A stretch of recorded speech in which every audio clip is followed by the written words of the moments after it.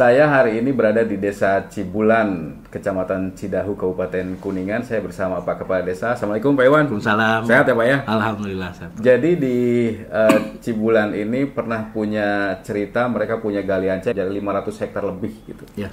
Nah, dan itu sangat berbahaya. Berbahaya karena bagi beberapa daerah ini bisa saja mengakibatkan longsor, banjir dan seterusnya. Maka saya ingin dengarkan pesan dari Pak Iwan. Silakan Pak Iwan. Ya. Jadi eh, para pemirsa untuk khususnya untuk rekan-rekan kepala desa yang ada di seluruh tanah air, saya hanya berpesan bahwa galian pasir ini khususnya yang ada di desa Cibulan ini sudah kita rubah dan menjadi lahan-lahan pertanian, lahan-lahan yang lebih produktif khususnya di bidang kedelai.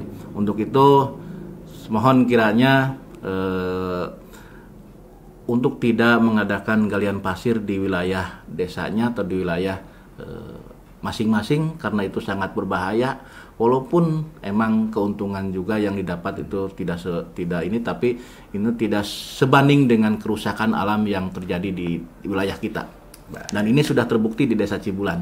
Oke, terima kasih Pak Iwan. Mudah-mudahan ini bermanfaat nih karena pasti akan ditonton oleh semua kepala desa ini Boleh, Indonesia. Terima kasih Pak Iwan. Selamat siang. Assalamualaikum. Waalaikumsalam warahmatullahi wabarakatuh.